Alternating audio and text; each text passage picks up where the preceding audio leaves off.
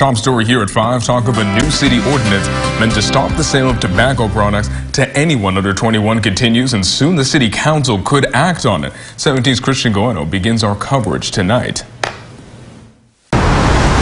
Well, the city attorney's office tells us that the city of Bakersfield currently counts with a tobacco ordinance that restricts anyone under the age of 21 from purchasing, possessing, or even using tobacco products. But that same ordinance currently does not have a tobacco retail permit requirement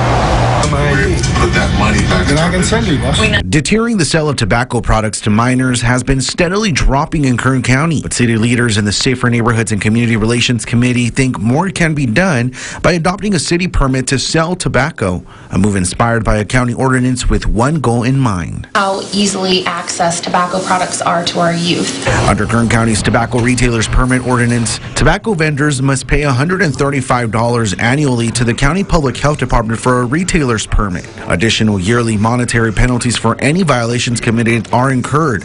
These violations are caught by underage county decoys employed by the county health department. We send them into tobacco facilities that are permitted by our department every year to see if they're able to access tobacco products. And unfortunately, many times they are able to purchase those tobacco products. According to data from the County Public Health Department, at the program start in fiscal year 2016-2017, 135 violations were reported. The next fiscal year, that number dropped below 100 violations, and in fiscal year 2018-2019, only 35 violations were reported. Shopkeepers that sell tobacco products say they don't mind another annual fee. Bakersfield County needs the money to stop those illegal tobacco sales. We are happy to help. But for other shopkeepers, they believe current rules are more than enough. For the minors, uh, below 21, we don't sell, right? Whatever the rule is, the law is, that's okay.